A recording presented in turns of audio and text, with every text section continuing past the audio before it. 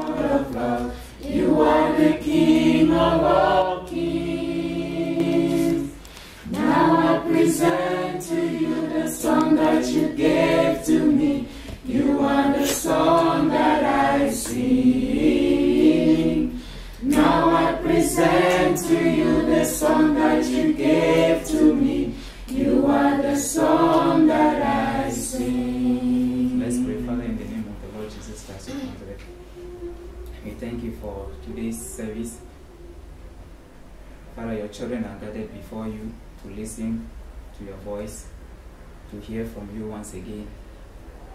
Father, we come with a pure heart, so excited to come into your presence. We thank you for the privilege. We thank you for the honor you have given us to approach you. We thank you for forgiving all our sins. Thank you for cleansing us, setting us apart for your use. We thank you so much for invited for inviting us into your kingdom to be a core members in your kingdom. We glorify your name for today's word. In Jesus' name, Amen. Amen. All right, we started a series, and uh, who can remember our theme scripture? Our theme scripture, Ephesians 3, 17, 18, 19. Can we read it? Can we read it together? Ephesians chapter 3, from verse 17, 18, and 19. Let's read it. One, two, go. That Christ may dwell in your hearts by, by faith, that ye, being rooted and grounded in love, may be able to comprehend with all saints what is the breadth and length and the depth and the height, to know the love of Christ, which passeth knowledge, that ye might be filled with all the fullness of God. Praise God. Amen. We said for us to be filled with the fullness of God, we have to be able to understand the love of Christ, how much He loved. We have to understand it and also begin to love the same way until we are able to love the same way He loves. We can't fully understand or we can't be filled with the fullness of God. And uh, we, from last service, we were trying to explain what is the the breadth of God's love. What is it? We said how how wide is this love? How wide is it? What is its coverage? What is its coverage? How many people does this love include? How many people are in there? And as a Christian, you also have to ask yourself this same question How wide is your love? With the same thing applied to God, we saw that from John 3:16, for God so loved the world that he gave his only begotten son that everybody his love was able to cover the whole world. That is how wide. Even more than that not only earth the whole universe his love was able to cover everything even the heavens and then he said whosoever everybody his love was able to cover everybody to include everybody.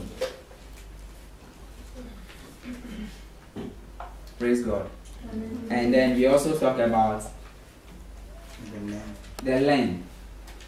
And we said how far can your love go? How far and we took the story of peter and he asked jesus how many times should my should my brother offend, offend me and I forgive him a day? Is it seven times? No. And Jesus said, No. It's seven times 70 a day.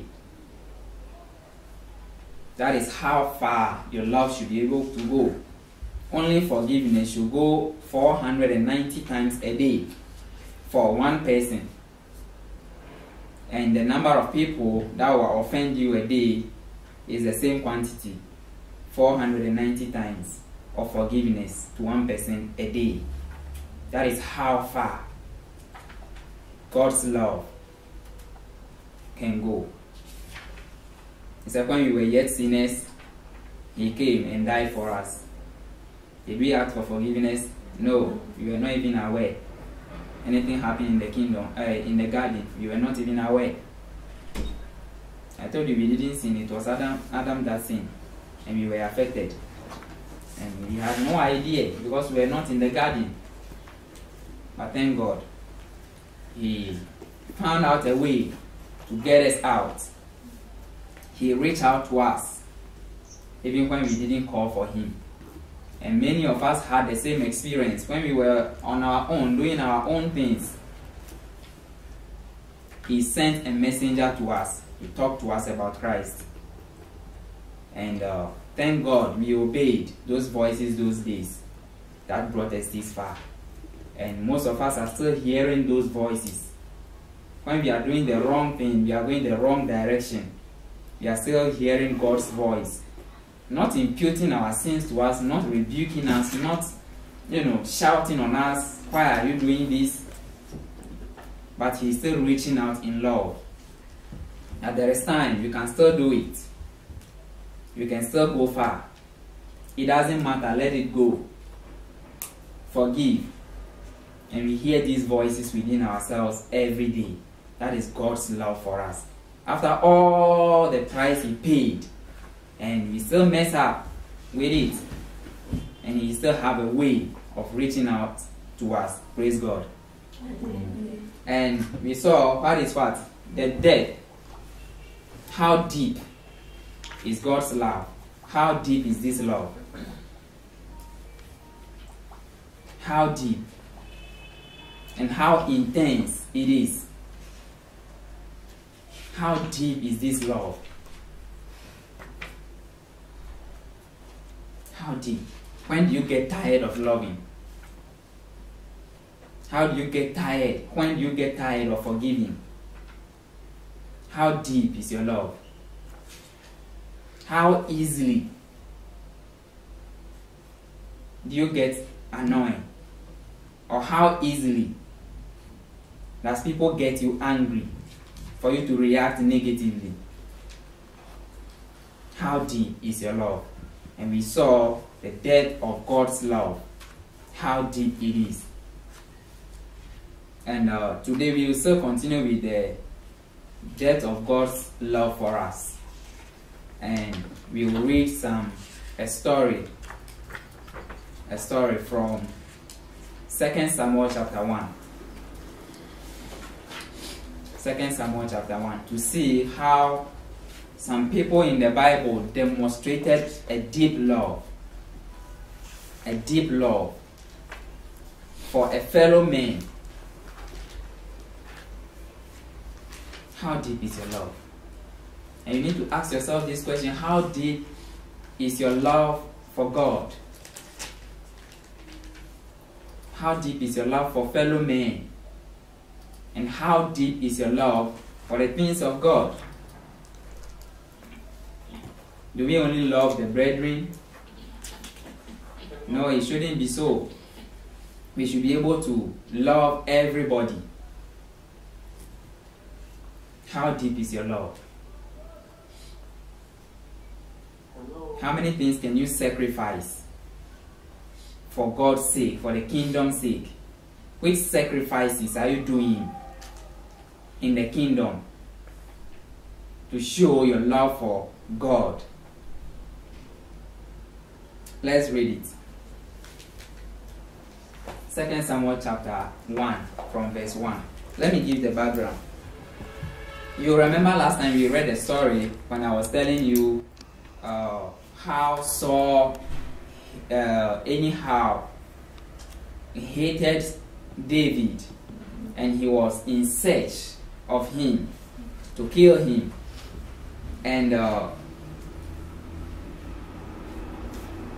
he, the reason was because he wanted his boy Jonathan to become a king after him. And the Bible shows that Jonathan so loved David that he clearly said it that he doesn't mind David becoming a king and he will be a king after him. But the dad was like, no. As far as David is alive, my boy Jonathan cannot become a king. So he planned to get rid of him so Jonathan can become a king. And we saw how he was sleeping, and anyhow, David and one of his mighty men came across King Saul sleeping. And the guy said, We are out here because of this guy. Master, let me strike him. Let me kill him. I won't do it twice. And uh, David said, What? Go ahead. How does David's respond? How was David's response?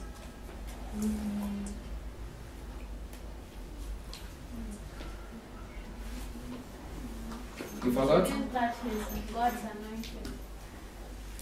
Okay, he said, Don't kill him just because he is anointed. He said, Nobody touches the anointed of, um, the anointed of God and goes free. For that reason, leave him, don't kill him.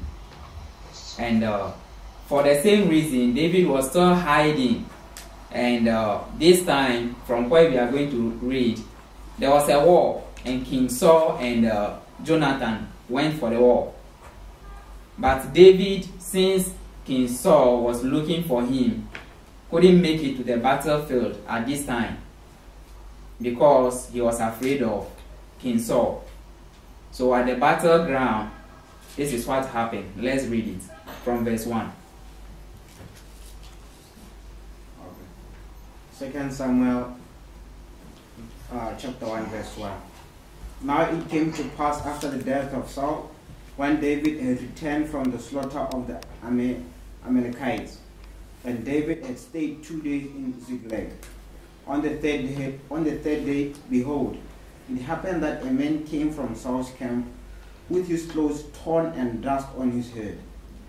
So it was, when he came to David, that he fell to the ground and prostrated himself. Verse 3 And David said to him, Where have you come from? So he said to him, I have ex- escaped from the camp of Israel. Then David said to him, How did the matter go? Please tell me. Okay, let me give the background again.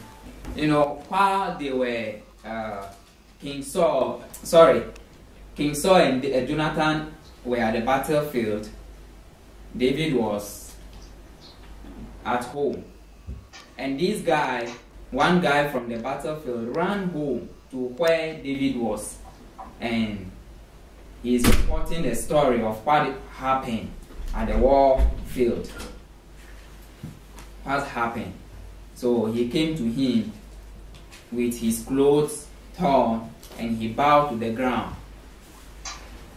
And he is going to report what happened or what is happening at the battlefield. Continue.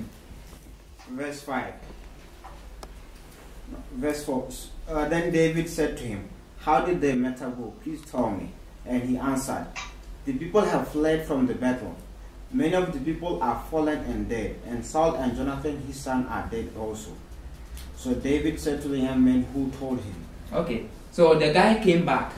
He got to where David was, and he, he, he, told him, at the battlefield, he came and David was like, What is happening at the battlefield? Tell me. What's up? And the guy said, The people are fleeing. They, they ran away. And many of our soldiers are also falling dead. Many of them are, have been killed. And King Saul and Jonathan were also dead. And uh, if you were David, how would you say? What would you say? What would be your reaction? You couldn't go because of the guy. And you just heard the guy is dead. What would be your reaction? What should have been the normal reaction? Glory. You should have started singing glory, glory, hallelujah. And you know all his mighty men will join glory, glory, hallelujah. And when they finish now I can sing hallelujah. Ah, I can sing. And when they get to now I can dance, you could see how the mighty son will be dancing. But you know, David wants to be sure as to what is happening. How true is this story? How true is it? So he said, Who told you? How do you know? How do you get to know King Saul and Jonathan is there? How? How do you manage to know? Tell me. And what did the guy say? Then the young man who told him said, As I happened by chance to be on Mount Gilboa, there was Saul leaning on his spear, and indeed the chariots and the horsemen followed hard after him. Mm. Now when he looked behind, he saw me and called to me, and I answered, Here I am. And he said to me, Who are you? So I answered him, I am an Amalekite. Amalekite. Amalekite. Sorry. He said to me again, Please stand over over me and kill me, for anguish has come has came has come upon me, but my life still remains in me. So I stood over him and killed him, because I was sure that he could not live after he had fallen. And I took the crown that was on his head and the bracelet that was on his arm, and I brought them here to my Lord. Okay. You hear the story.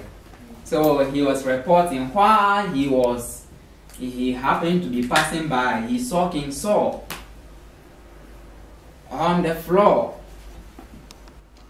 and uh, oh, dying, King Saul dying. And then King Saul asked him, Who are you? And he said, I am what? An Amalekite. And he said, Stand on me, kill me.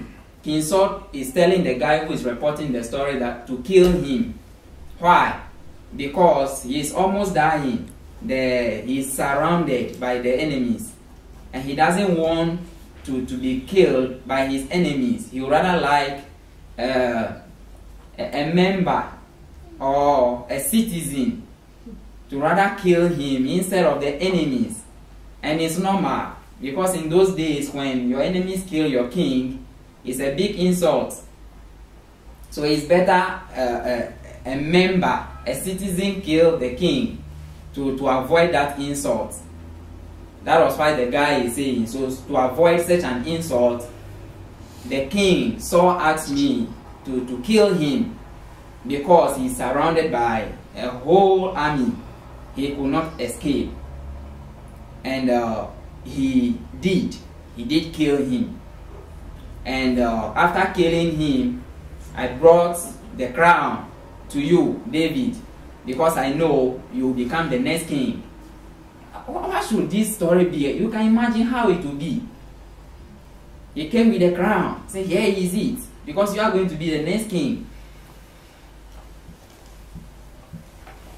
They should have been chanting, hooray! And they would raise him, hail the king! And be throwing, hail the king! Hail the king! And David will, you know, be enjoying. He's going to be the next king with peace. Because King Saul is no more. Nobody to trouble him again. Wow! The way is clear now. He can freely become a king.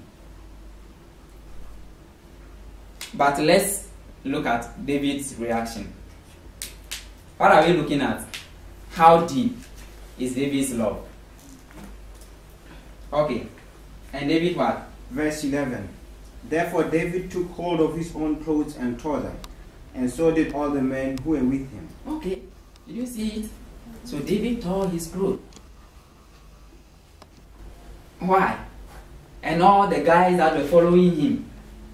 But do you remember this was not the reaction of those guys before? When at the time when they saw the king, one was like, hey, let's kill him. But now what happened that instead of them rejoicing, eh, our enemy is dead, they also tore their clothes. Wow, what happened? Now they were trained. They've been trained now. They've went through some discipline. David taught them how to respect and how to recognize the anointing. So this time they could not rejoice. David tore his clothes and they did the same thing. When you are with a man of God and he is doing anything spiritual, you have to do the same thing. When he is speaking in tongues, do the same thing. When we are in service and your man of God is rolling on the floor, what are you standing doing? You have to do the same thing. When he is kneeling down to pray, you have to do the same thing. Whatever your man of God is doing, I'm not I mean we are in service or whatever. You see your man of God doing something spiritual, you have to do the same thing. Your man of God cannot be on his knees praying while you are standing. You see. They didn't have to understand what is happening to tear their clothes. They just do it. Why? The master has torn his clothes. What are they waiting for? Your master cannot be naked, all his clothes is gone, and then you are dressed up. Doing what? They did the same thing. At the time, a man of God said when he was with another man of God, and uh, they were all men of God, but at levels. And uh, the one at the higher rank, you know, the, the, the, the main boss, they were at the supermarket, they were shopping. And then the main one received a call from Pastor Chris. Pastor Chris called him while they were at the supermarket. And before he picked the call, he kneeled down before picking the call. And who called, the others don't know. They, they have no idea. But kneeling down, they all went on their knees too. At the supermarket, and people were taking pictures of them. The people were like, what's wrong with these people? He knelt down, picked the call, finished talking, he raised up, and they all did the same thing. They didn't know who was calling. No, they had no idea. The one who reported it, he said they have no idea. They just saw him going on his knees and they can't wait. They have to do the same thing. They were not members, they were also pastors. They were also pastors. You see it. So when you are with spiritual people, not necessarily men of God, you are with spiritual people, when they behave in a certain way that's uh, very abnormal, you, you have to do it. I quite remember at the time we were in service, and our man of God was rolling on the on the altar. I mean, shouting in tongues, rolling, and we were watching. The whole congregation, we were just watching, and the ushers around him were doing the same thing, and they rolled for about seven, eight minutes. One of the ushers rose up grab microphone and say, What are you people doing on your on you guys are still standing? He was so surprised. We were watching. Immediately, we were all went on the ground. We started rolling for quite a reason. You don't need to understand. We started rolling on the floor as well. The whole congregation went down. You see it. So they tore their clothes as well and let's hear what happened.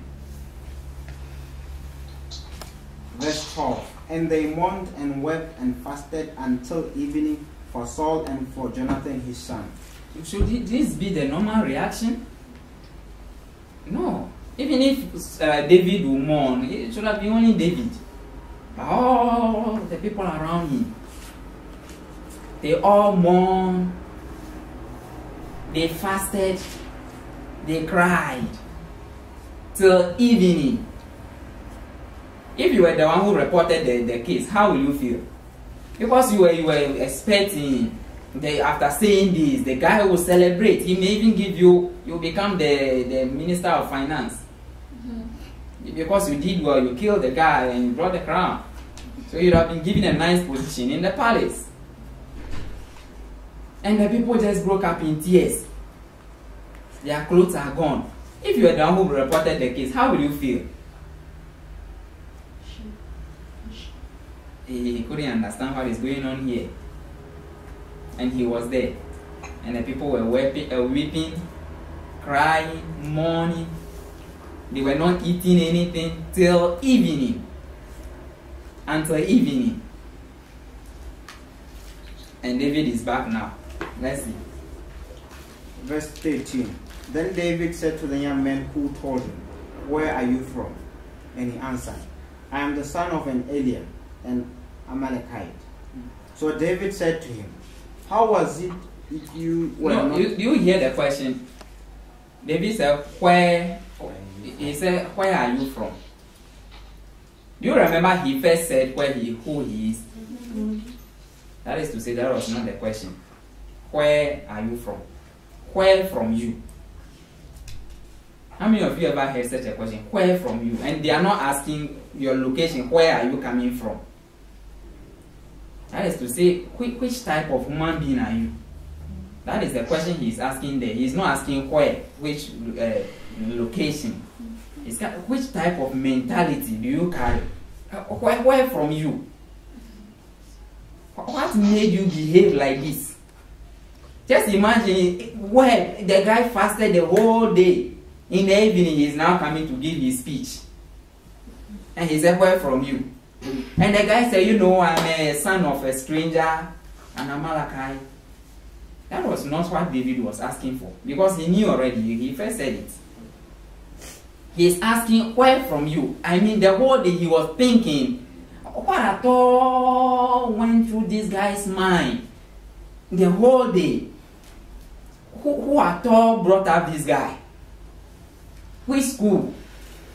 He was trying to figure out what, what made the guy think that way. And he came out eh, there, Where from you? And he said what? He's the son of a stranger, an Amalekite. And David said what? So David said to him, How was it you were not afraid to put forth your hand to destroy the Lord's anointed? Can you see the, the what David was looking for? He wasn't asking looking for where like where are you coming from? Which city or which village do you met from? He was looking for his mentality. What what made you think like this? He said, Why what why is it that you were not afraid to stretch forth your hand to touch Saul? To touch the rejected Saul, is that what he said? To touch the Lord's anointed. He wasn't interested in, in Saul. Neither Jonathan. He was interested in the anointing.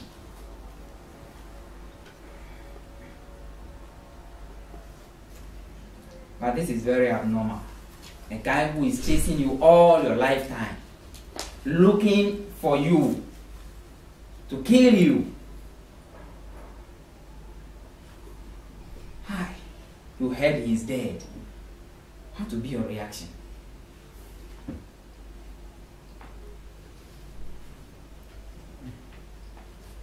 How deep is David's love? Do you remember the story when, uh, after the baptism, Jesus, uh, John the Baptist baptized Jesus? The same Jesus you just baptized is also baptizing at the other side of Jordan. You remember the story? What was his res- re- response? What did he say? Who can remember? He said he came for this purpose. He, John the Baptist, he came for this purpose. He must increase. And he, John the Baptist, must decrease. If it were you, how will you feel? Tell you no. And the Bible shows that many people were going to Jesus. He's called, John the Baptist, uh, his customers has reduced because they were all going to Jesus. Yeah, his customers. Few people. Sometimes he will wait, wait in the afternoon before one person will come, please, I want to baptize. He will wake up, baptize that one, go back to sit down. May Mayor, the whole day, maybe only two. But they were all going to Jesus. The Bible clarifies Jesus was not the one baptizing, though it was the disciples, but he was there. And they came to tell him, John, John, you know why you are not busy nowadays? I I don't know, maybe. And they said, the same Jesus you just baptized, he has taken your job. Your job is at risk. And he said, Don't mind him. This is how children of today are. Is that what he said? John the Baptist said, Don't mind that, that small boy Jesus. This is how children of today are. And you give them little anointing, they take they take charge. Or he said, Don't worry. On the last day we will see true believers. is that what he said?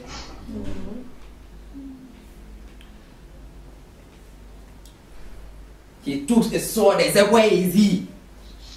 He's going to destroy his ministry. Is that what he did? Did he change the message that be careful, there will be so many false prophets nowadays? They will be at the other side of the Jordan. So be careful. Did, he change, change his message? Most of us, that's what we have do. You change our message. When few people come to you, tell them, be very careful. There are so many false prophets now. They are very young. They, they are mostly uh, along the coast. At the other side of, of, of, the Jordan. And then people would like to go and experiment it. They will go and Jesus say, ah, he really said it. it is King Joseph. You know, he said he is for he is the son of God. People say you Joseph.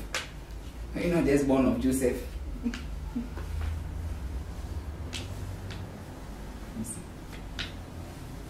How deep is their love? He said he must increase, but I must decrease. He was so happy. He said he came for this purpose. His joy is fulfilled.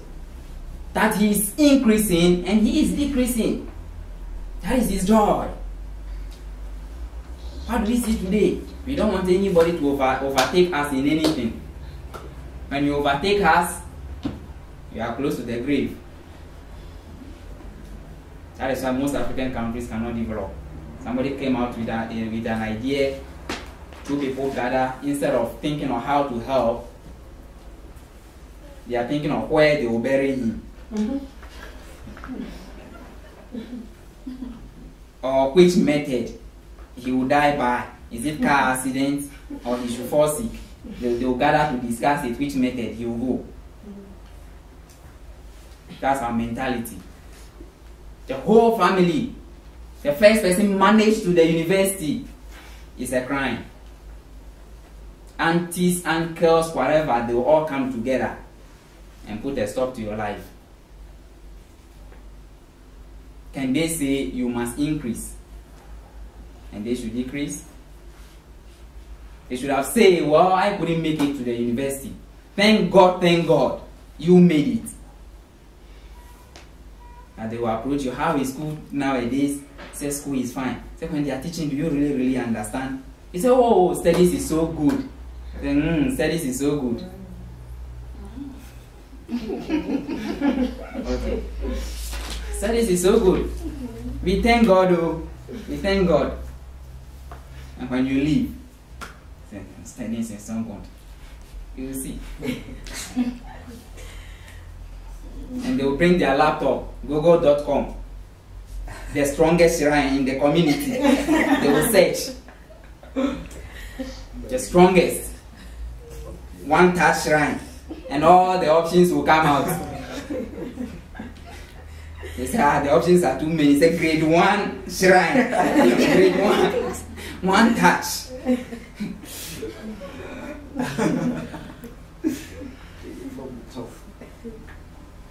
if Google is not bringing good options, they go to Baidu.com. They'll get something there. And truly, they will find a way to put a stop to your progress. That is human love. Let's read a few things and we close. Continue. Verse 15. Then David called one of the young men and said, Go near and execute him. And he struck him so that he died. So David said to him, Your blood is on your own head, for your own mouth has testified against you, saying, I have killed the Lord's anointed. Did you see it? After meditating on the matter the whole day, he came back and said, Hey, one guy, go and fall on him. Go and kill him. Hmm? His blood, yeah. David said, Go and kill him. His blood is upon his head. For he come and say, I have killed him. he, said he's dying and he wouldn't live, so I should just do the justice. And I did. Said, Go and kill him. Next time when he come back, he won't kill the Lord's anointed again. when he have reincarnation and anyhow he managed to come back, he will never touch the Lord's anointed again. And uh, they did so because those people they, they don't spare, they don't have too much time to waste. They did so. Let's read a few further. A little further. Should I continue? Mm, continue. Um, verse 17. Mm. Then David lamented with his lamentation over Saul and over Jonathan his son. And he told them to teach the children of Judah the song of the bow. Indeed, it is written in the book of high places, how the mighty have fallen. Tell it not in Gath, proclaim it to the not in the streets of Ashkelon. Let the daughters of the Philistines rejoice. Mm. Let the daughters of the uncircum- uncircumcised triumph. Triumph. Triumph. Go Oh, mountains of Gilboa. It's okay. Go back to Oh. the next, the, the previous one. 20. He said what? They shouldn't tell it. At where? Gath. Do you remember this? This place? Where? Goliath's hometown. He said, Don't tell it at that place, else they will rejoice. King Saul is dead. They shouldn't tell it. He told them to mourn, but they shouldn't spread the message. They should keep it calm. And you know what happens today when something happens to a brethren or a man of God or anybody in the body of Christ? Is the very same Christian who spread the message. To spread the message all around, even adding to it that was not part. They will polish it in a way that the message will shine, that people will accept it, and they will spread it all around. Instead of going on their knees, weeping, mourning, and fasting, interceding, no. No. They will rather create new accounts. Some people will create uh, broadcasts so that one send it will go to everybody's listening and be receiving reply. Will spread it all around.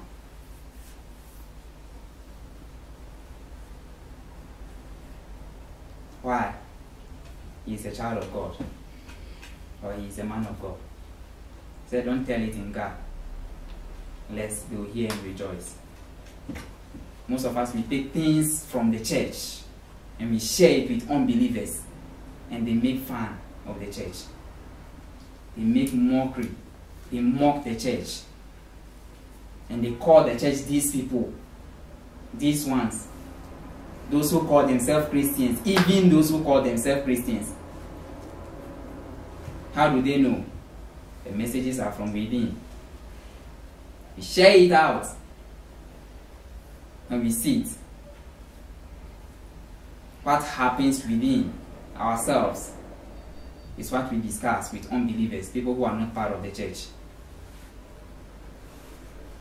And then they'll begin to lose hope in Christianity. Christianity begins to look dirty to them. They say, even this one is Christian, look at the way he's behaving. If that is how Christianity is, then they would rather remain unbelievers. And they are right to an extent. But that's what the that's the conclusion they will draw. If I go to church, listen and come and gossip this way, eh, it's better I remain unbeliever. Spread the message all around. He said you shouldn't tell it at where? At the Philistines. Because the Philistines will what? they will, they will triumph. They will dance. They will dance at the death of somebody. They will dance. They will dance.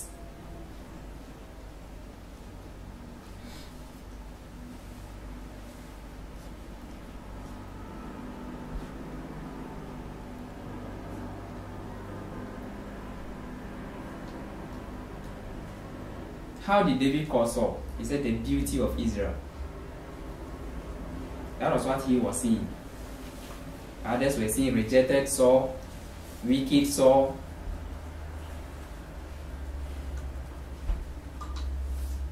But he mourned, he lamented. He lamented so greatly. And as the children of God, we have to activate the same attitude. The same attitude when we hear bad news. When somebody runs to you and says, Have you heard? And you offer chair to sit down and tell me. And then the person started, and it is something about the brethren. Please put a stop to it. Now, what do we do? You add more foam to the to the seat to make it more comfortable, so he can produce, he can pour out. And we gossip and gossip and gossip and add several things. That is what we see today in the Church of Christ. How deep is our love? Can you say he must increase, but I must decrease? Can you see it at the promotion of a brethren? When somebody says, I've just got a promotion, what will be your reaction? Say, we thank God. Oh. But when you get to me, say, God is unfair. God is unfair. Even last all night, she wasn't there. Look at she was just promoted. She don't give. I give. Look.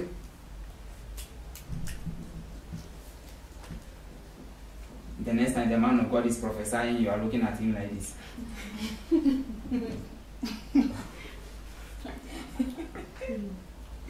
you begin to see him a false prophet now. His prophecies that it doesn't work. Say this one is not hot. You change your church. you begin to speak several things against the church. Even God is unfair nowadays. Why? Because somebody has gotten a promotion. Can you rejoice and say, Glory, thank God, and expect your own? Your own may be twice the one he, he or she just got. But what? No. You won't do it that way. You get angry. You get mad. Begin to react in a particular way. Why? He is promoted. It shouldn't be so. How deep is your love? He said that we may be able to comprehend the breadth, the length. We are left with which one? The height. You will take the height on Sunday.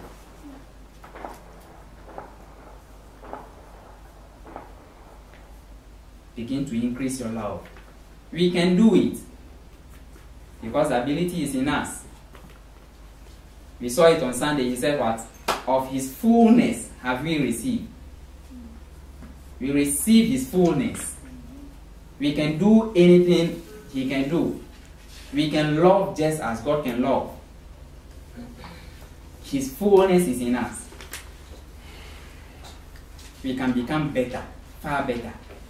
We can love genuinely.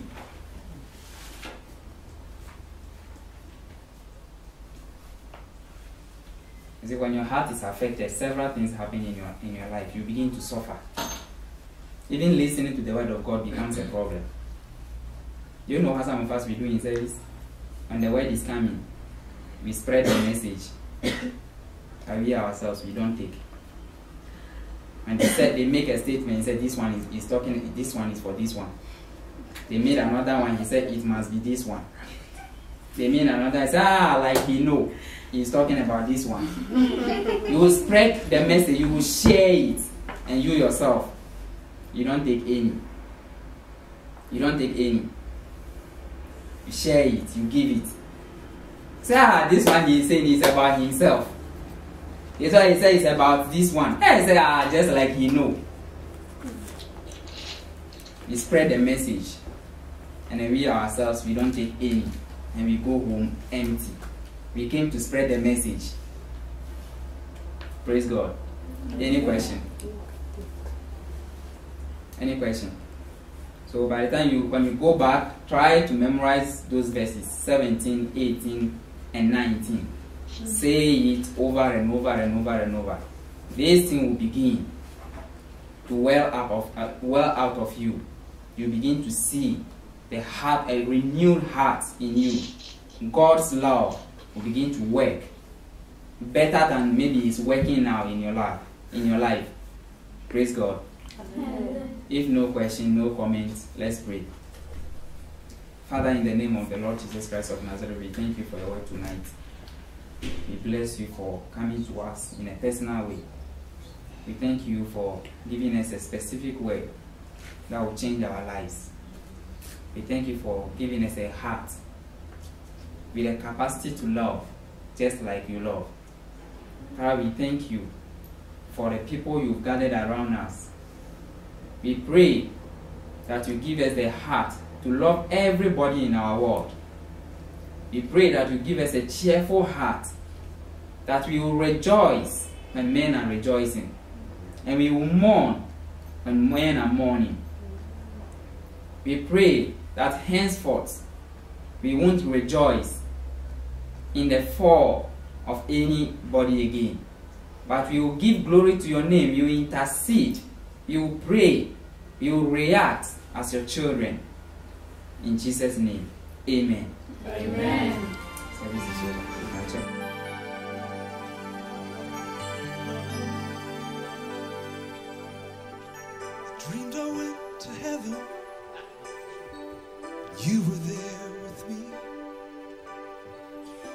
walked upon the streets of gold beside the crystal sea. We heard these angels singing, and someone called your name. You turned and saw this young man, and he was smiling as you came. And he said, Friend, you may not know me now. Then he said, Wait. You used to teach my Sunday school when I was only eight. And every week you would say a prayer before the class would start. One day when you said that prayer, I asked Jesus in my heart.